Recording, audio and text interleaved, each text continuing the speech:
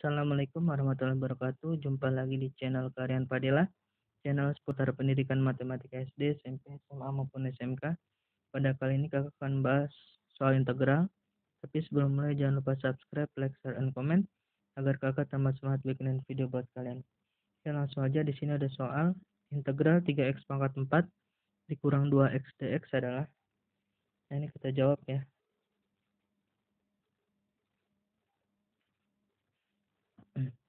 Nah, sesuai dengan rumus integral, kalau misalkan ada uh, eh, 3x pangkat 4 sama 2x, ini ada dua integral jadinya.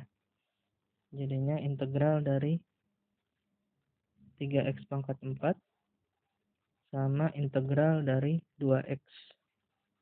Sorry, sorry.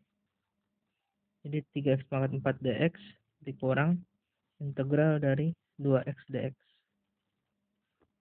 Nah, untuk integral itu karena dia dinaikkan ya, namanya integral dinaikkan artinya pangkatnya dinaikkan, lalu rumusnya 3 seper berapa nih?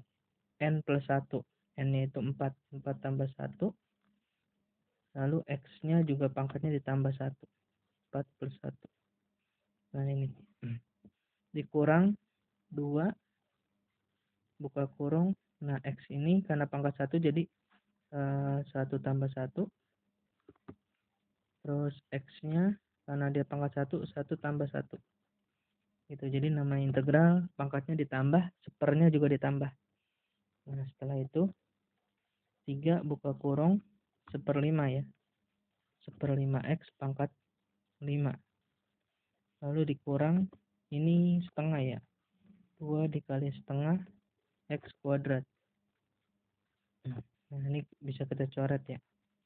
Ini tinggal kita kali ke atas, jadinya berapa itu? 3 per 5 ya.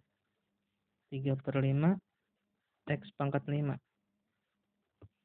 Dikurang X kuadrat. Plus C ya. Ini plus C-nya jangan, jangan lupa ya.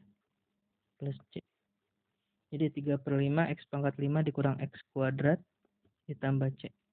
Nah, ini jawabannya ya. Cukup mudah ya. Kalau ada pertanyaan, silakan bertanya di kolom komentar. Nantikan video kakak selanjutnya. Assalamualaikum warahmatullahi wabarakatuh.